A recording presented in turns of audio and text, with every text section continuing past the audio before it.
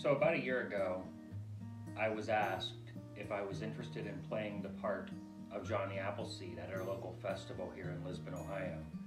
And my first response was no.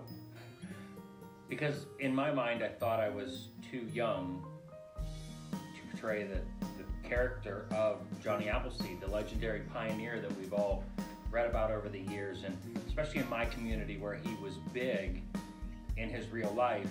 Um, it's quite a celebration, and in late September. Um, so I've always thought of Johnny Appleseed as being a much older person. And then one day, um, as I was sitting having coffee with my mom, this question popped into my head, and that was, who was Johnny Appleseed? And I started to do some research on who Johnny Appleseed really was. And it's when it started to really pique my interest. And so after doing just a little bit of research, I figured I better do it because his life sort of fits the life that, that I would like to live myself. My question is, what causes a young John Chapman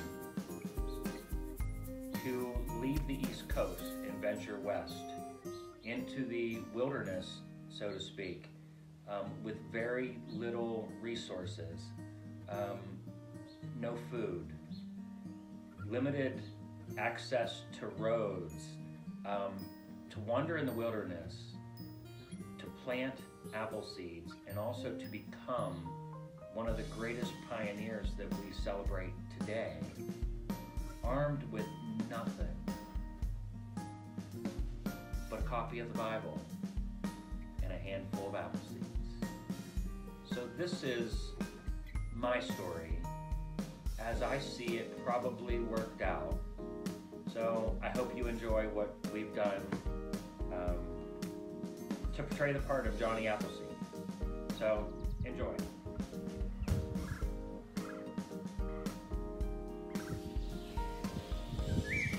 In the early 1800s, and as the country was headed westward, he knew that as the pioneers moved west, that they would need food. And in the early 1800s, apples were a huge staple of the American diet. And there was lots of land that needed farmed. And he felt this desire to go west with the other pioneers. But he just wasn't sure if he personally had what it was going to take to venture into the wilderness all by himself to plant apple seeds. But Johnny had this love for apples that came from the farms from the east.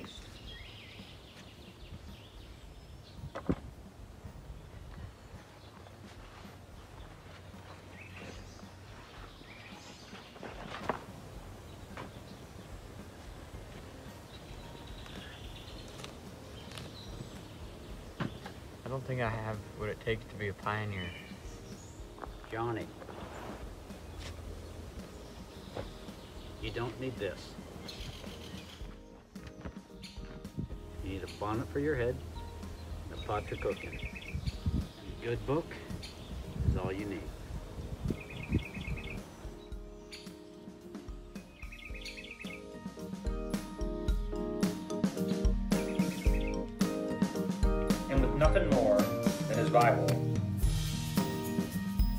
Johnny set out on a quest to plant seeds in the western part of the country. As John was growing older, he really loved to just sit inside of an apple tree and read the words of wisdom that come from his Bible. It was at this place that he felt closer to nature and God.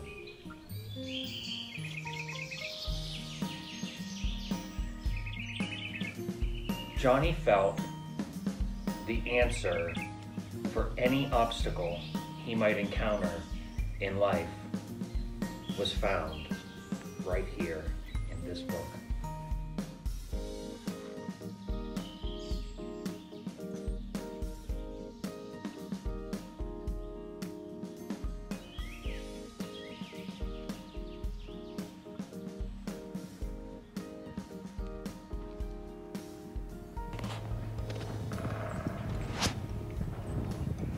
As Johnny was traveling, he would often look for a nice sunny spot to plant a seed. And when he come along the most perfect place, he would take the time to plant an apple tree.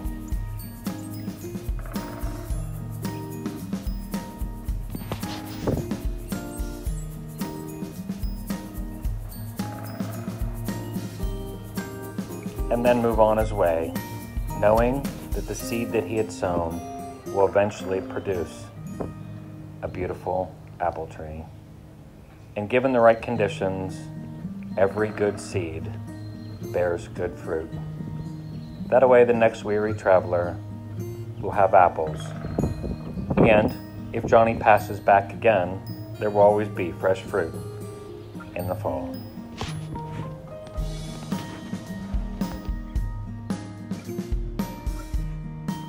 After a hard day working in the apple orchard, when the shadows were getting long, there's not much Johnny enjoyed more than just sitting down and reading his book.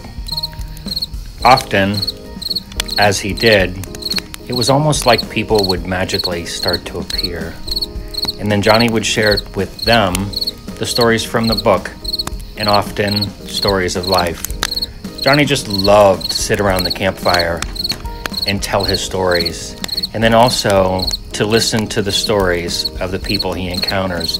Johnny often knew this is where true life was when you had the opportunity to share with other people, friends, even if you might have just met them for the first time tonight.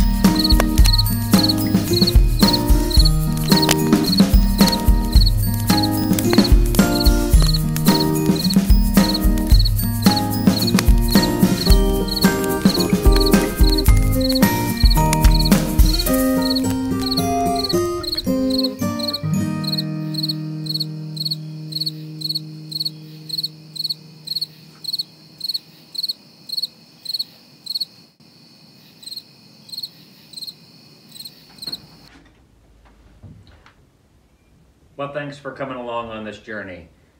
I think it's great that over 200 years after Johnny Appleseed passed through this area, that his seeds are still being sown. Anyway, I hope to see you this fall at the Johnny Appleseed Festival in Lisbon, Ohio.